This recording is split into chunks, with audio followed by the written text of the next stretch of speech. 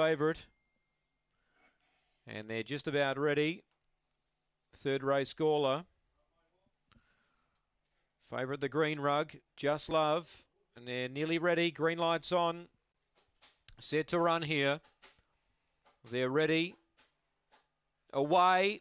Uh, very good speed. Natural Fury came out running, led by a length, but Just uh, Love gets to second and comes quickly. Now takes the lead. Three away to Aston Bardo. A gap to Long Gully Dell, Phoebe McBain, Aston Emilio. Well back Subjective Boomer and McIver Neville, but the leader's often gone. Just Love. It's strode away. It's six clear. It's home. And Just Love won by seven. Natural Fury second. Long Gully Dell.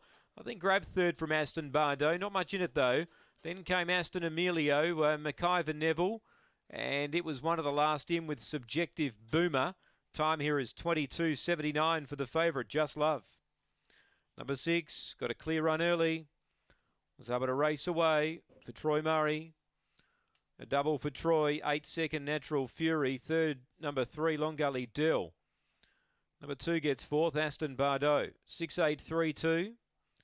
Eight and a quarter by half a length. Eight and a quarter by a half. 22.79 the gallop. Run home in 14.05. 6.83 and 2 on the third. Again, another favourite home.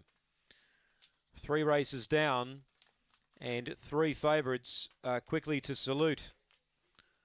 So punters having a good time on this Thursday night here at Gawler.